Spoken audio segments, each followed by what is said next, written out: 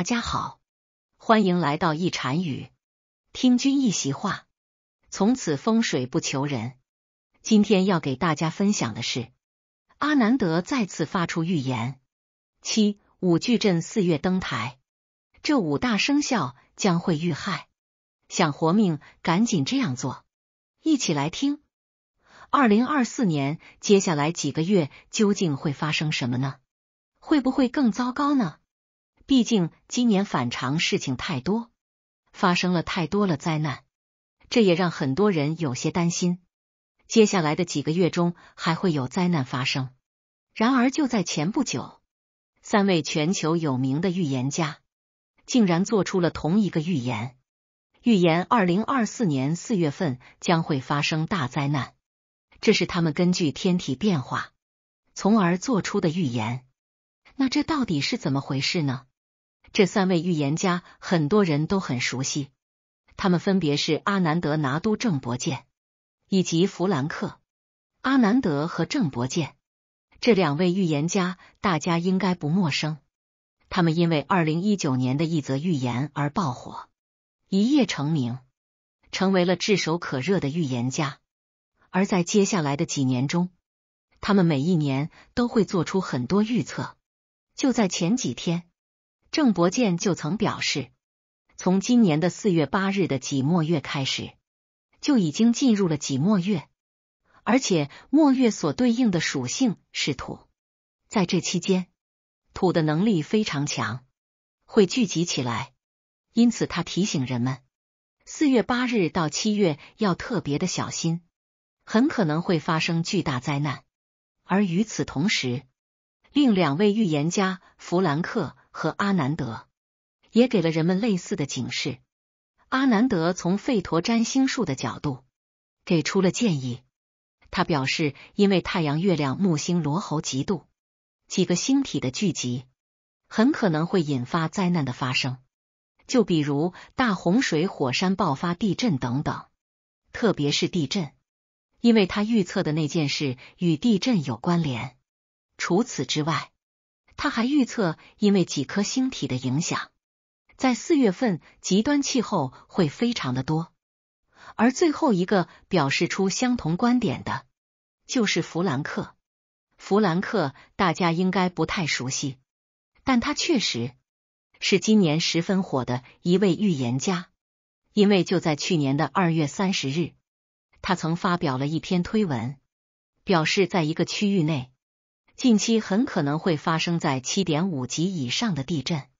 然而巧合的是，就在他发表完推文没多久，土耳其就发生了地震，而土耳其就在他说的区域之内，这也让他迅速爆火，数万人都涌入了他的账号，想要看看这究竟是怎么回事。毕竟地震根本无法提前预测，就算是最先进的仪器。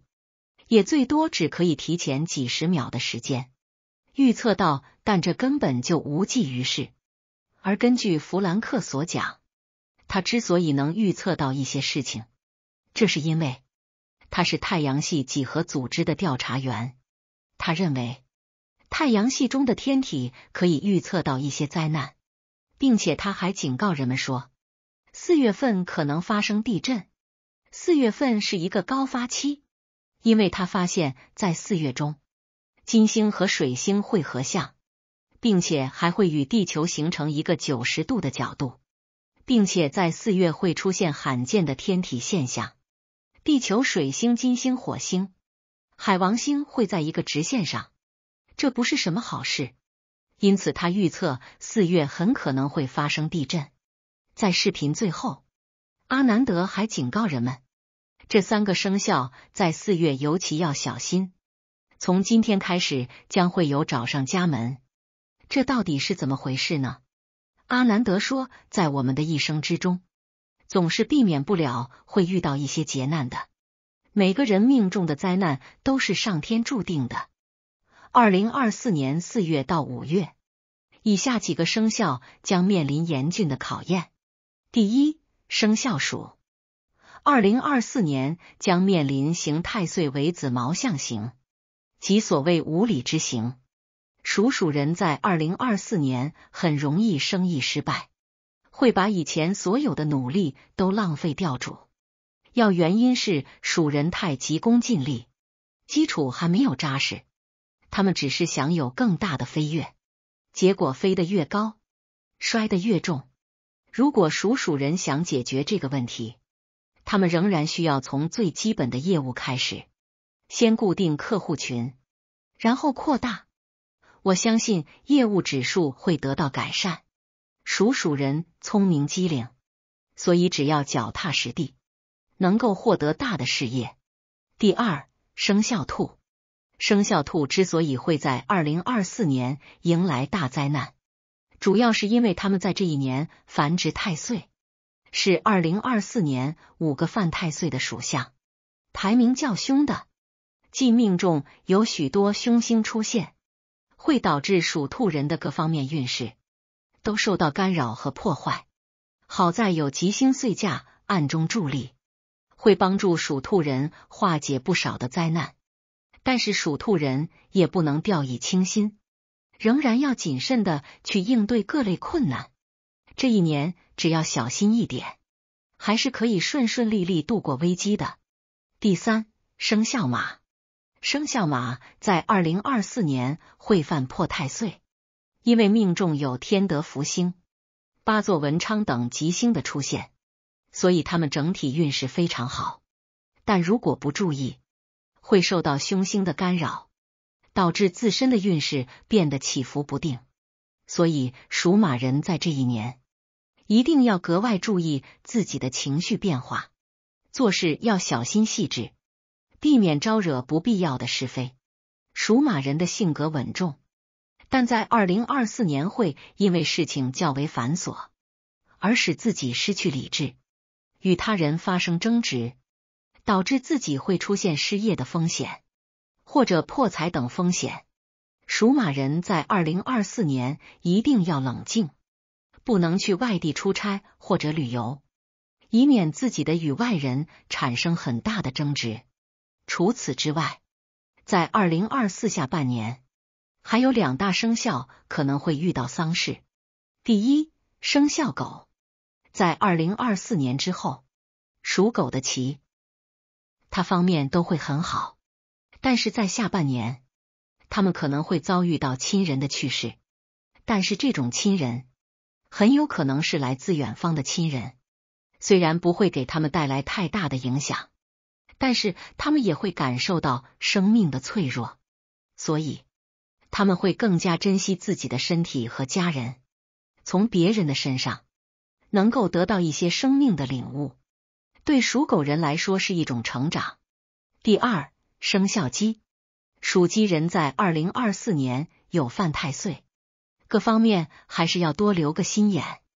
在二零二四下半年的时候，属鸡人虽然在事业上会取得比较高的成就，但他们在这个阶段还会遇到亲人离世的情况，不过大多是远房亲戚。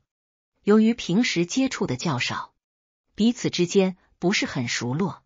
所以属鸡人并不会有太大的悲伤，但是毕竟是亲戚，属鸡人的内心深处会有一种五味杂陈的感觉。亲人的离去会让他们对生命的意义有更加深刻的认识。最后，阿南德还说，对于不同的生肖有不同的影响，有些生肖会因为与太岁相冲或相破而遭受凶星的困扰。但是有些生肖会因为与太岁相合而得到吉星的庇佑。那么在二零二四年四月，哪些生肖会有好运呢？第一，生肖蛇，时来运转，贵人相助。属蛇人在二零二四年四月的运势是非常好的，他们在事业上会有很多机会和挑战，能够展现自己的才能和实力。他们在财运上也会有很多收入和收益，能够实现自己的理财目标。他们在感情上也会有很多桃花和缘分，能够找到自己的另一半，或者增进自己的感情。这一切都是因为属蛇人在二零二四年四月得到了天喜天德福星、文昌等多个吉星的照耀。这些吉星能够给属蛇人带来好运、贵人、智慧、学业等方面的好处，特别是天喜星，能够让属蛇人在感情上有很大的进展和幸福。属蛇人在二零二四年四月应该抓住机会，积极进取，不要错过任何一个展现自己的舞台。他们应该多与人沟通交流，结交一些对自己有帮助的朋友。或者合作伙伴，他们应该多学习新知识，提升自己的能力和素养。他们应该多关注自己的感情生活，表达自己的真心和诚意。第二，生肖猴财运滚滚，全是多才多艺。二零二四年四月，属猴的人会迎来财源广进、多才多艺的运势。对于他们来说，本月是事业发展的重要时期。也是扩大财富和社交圈子的关键阶段。让我们进一步拓展属猴人的运势，深入剖析属猴人在四月将面临的处境和应对策略。二零二四年四月，属猴的人会诠释聪明才智和多才多艺，他们工作灵活多变，能很快适应新环境、新任务。属猴人有出色的沟通能力和组织能力。很可能在团队中发挥关键作用，甚至得到上级的信任和重用。本月将是事业繁荣的时期，属猴人应该保持谦虚和进取的精神，不断提高自己的技能和知识，以迎接未来更大的挑战。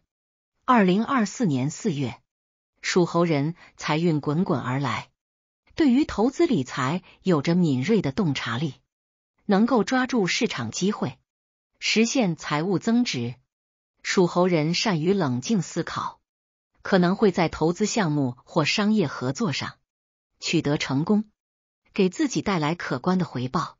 不过，属猴人也应该保持谨慎和理性，不要过于轻敌。在追求财富的过程中，要坚持谨慎投资。防止盲目跟风或投资风险过高的项目。四月中旬，属猴人有机会通过社交活动拓展人脉资源，他们的热情和机智会赢得别人的喜爱和认可。通过参加各种社交活动，属猴人可以结识更多有趣的人和有用的同学，为未来的职业发展和合作机会打下坚实的基础。在社交过程中，属猴人应该以真诚和耐心来建立牢固的人际关系。虽然运势不错，但是属猴人在二零二四年四月需要继续学习和创新，需要保持进取心，不断拓展自己的知识和技能，以适应快速变化的社会环境。属猴人善于发现问题，解决问题。四月中旬，可以通过学习新知识、新技能，为事业发展获得更多优势。保持学习和创新的态度，才能在竞争激烈的职场中脱颖而出。二零二四年四月，这两大生肖将迎来充满机遇、好运的时刻，事业、财富、爱情、健康方面都会有明显的进步，但也要注意谦虚和理智。防止过度自信和忽视风险。爱情和健康方面注重沟通和关怀，保持豁达的态度，同时不断学习和自我成长，将为未来的发展打下坚实的基础。阿南德说：“从二零二四年四月开始，人类会经历不同方面的各种困难，来完成一次伟大的转变。”他再次强调。我们现在生活在一个变化如此之快的时代，我们正生活在新时代的转型期。从经济到地理，再到健康，一切都在重新整合。世界上的一切都在发生根本性的变化。在这个阶段，我们看到的是一个完整的、不断变化的世界。有太多的宏观经济变化和太多的地域变化正在发生。人类基因本身也在加速他们的变化。阿南德认为，这种人类的改变是非常消极的。我们只能从古代圣贤的教导中寻找解决办法。在未来的几个月或几周内，可能会发生大规模的变化。人类相互交往的方式也发生了改变。我们不能指望新世界非常和平，因为七月的行星事件非常特殊。人们正在进化成更贪婪、更愤怒和更糟糕的存在。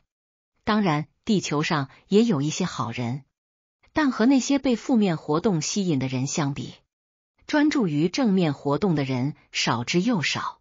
所以，阿南德认为人类正在快速进化，这是一个非常快速的变化。人类的基因也在快速变化，因此他要求人们关注未来几个月将要发生的世界大事。于是，阿南德对即将到来的二零二四年做出了六大预言。一、经济。阿南德说，二零二四年全球经济会非常混乱。